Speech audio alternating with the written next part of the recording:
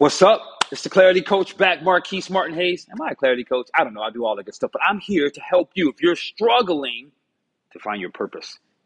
So many people have heard in your life, you need to find your purpose. You need to live from your purpose. I am here to help you find out why you've not found your purpose and how to explore it. Number one, the why you haven't found your purpose. Number one, it's only because you're probably overthinking it.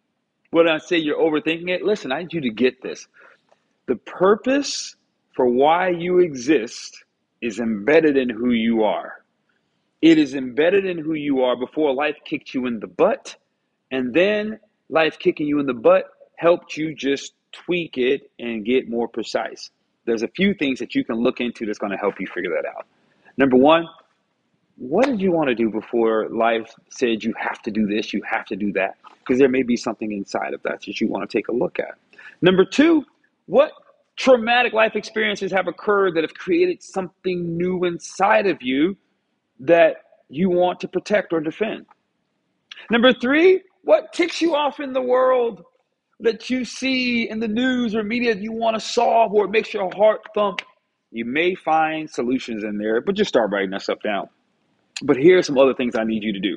Here's some positive things that you can do. They're exploratory if you just had maybe even a decent life you know, you're just working and paying bills, but you're like, but I don't feel meaning. I got that. Number one, in this category, the positive three, I want you to start to explore passion projects. Now, when I talk about passion projects, you might have just gotten a clue from the things that ticked you off that I was talking about a moment ago. That there might be some discovery about what has converted or stimulated the passion inside of you. You might want to start looking into that, finding well, how can I give back? How can I create what I see? Google who is out there doing what I see, but getting clear about what drives you. And then thinking about that audience that you want to impact with that passion. Maybe it's an age group, maybe it's a gender, maybe it's a nationality, maybe it's a, I hate to say this word, race I, I hate the word in that context because it's such a BS term that we've made up. And y'all got to hold on because my daughter's calling. I'll be right back. Be right back. I told I'd be right back. Listen, that was my daughter. I had to step in and take the call. My papa. All right, so let's get back to this. Uh, so you're exploring your passion project, right? So that may come from places, like I said, where you may feel frustration and desires you have that you want to leave a legacy in the world. That's the other side of it. The second thing you want to do is seek guidance from a mentor. Well, why wouldn't you? You know you, but there are people, hopefully, you've allowed in your life who've gotten to see some of your strengths, some of your weaknesses, some of your possibilities. This mentor can be an elder. This mentor can be a peer.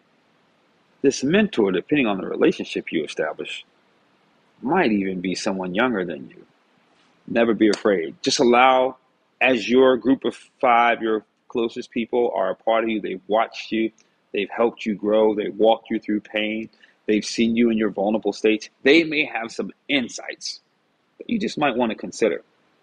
A good friend of mine from high school, Everett Hill, who I hadn't talked to in 30 years, reached out to me about four, three, four years ago during the pandemic. It was like, you need to start talking, Marquese. You need you we need your voice out here. And I'm like, bro, I haven't what are you talking about?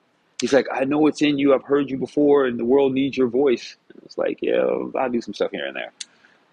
And I just stayed reluctant. And although he wasn't a direct mentor, he was a voice that it sparked something in me.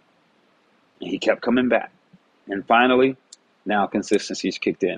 And I'm seeing that, okay, I do have a voice because I was actually dealing with something inside of me around whether or not my voice was respected or if I had to be have the perfect life before I allowed my voice. I was going through this whole thing, which you might be doing and why you struggle with purpose, outside of you trying to validate it by the world's expectations of it.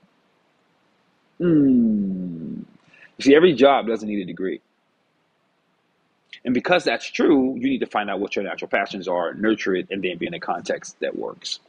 The so seek that advice from a mentor. The last thing that you can do is volunteer and give back. If you're searching for purpose, your life might already be full, but there's also the sense of value missing. And this is where volunteering and giving back gives you an opportunity. Now, listen, I want you to know, let's talk about giving back first. We often think of giving back as money. And I'm going to tell you that's a very good thing to do. It gives you the tax write off. Let's just be straight about it. Most of us need that or could use that in our life. It gives you that opportunity to do that. It also gives you an opportunity to invest your money in a direction where there's going to be not only the tax write off, but a long term return. Whether that return is financial and capital, that's excellent. That's a smart move. That's what startups are for. Get involved in one. Find a startup community, get involved, invest your money. You're going to help the founder and their team materialize their dreams, which is really important. You're contributing to the future of society. But at the same time, you are going to be helping that business, but literally your dollars, your cents are going to be helping the community in which their product or service will serve. That's sowing seed into the future using your money to do it. That's a wonderful thing to do. You may find that if you don't have time because you're pulled in so many directions, like that's how your life is set up, then donating is going to give you that. The other half of that is volunteering, putting yourself on the line in a way that doesn't require funds. I love the example that I often talk about. And this may find something for you as well in this example is when a woman says to me, who may be in her 50s or 60s, you know, Marquese, it's too late. I don't even dream about it anymore. When I was a little girl, I had some aspirations. I would dance all the time. My parents put me in ballet, and then after a while, they couldn't afford it anymore, and they couldn't keep up the lessons. So I walked away. But my desire to dance stayed with me in high school. I danced as much as I could. I went to all the parties in college, and I just danced and did my best. But the desire to be a ballerina was what she really wanted. Unfortunately, it never happened. So now she finds herself in her 50s, early 60s, and not able to fulfill on that thing that was inside of her. You know what I told her? Here's what you need to do. Accept that that's still your reality. Number one. Number two, go volunteer some time at a studio get around little girls, little boys who have aspirations to dance. Be with them on their journey. Volunteer your time. And although it's not you physically involved, emotionally, you're going to find fulfillment. Because oftentimes, the thing that we desire the most can be manifest in ways we never imagined. And this is why volunteering becomes something so special, something so important in this new world where people are working remote, you have control of that. Use a trip. Take a trip, go volunteer somewhere, work during the day, and then in the evening, serve. Or go in a whole other time zone, go across one of the ponds, as we like to call it, be in a completely different time zone. During the day, volunteer and give your best. And in the evening, put in the work, especially if it's routine. There's so many ways to look at discovering your purpose. There's so many ways of bringing it out. But I think the real question you're asking is not the discovery of what my purpose is, but will it pay off? I'm here to tell you. Getting rid of other stuff that keeps you busy just to keep you busy, trust and believe. Your life is going to change if you get rid of that kind of stuff. It's not right or wrong, it's just a distraction. And anytime and every time we are operating outside of who we naturally really are, then the level of fulfillment is here at best. We can only make so much money. And if we make more, what are we going to do with it? Yes, it's great to make more, leave it for generations. That's fine.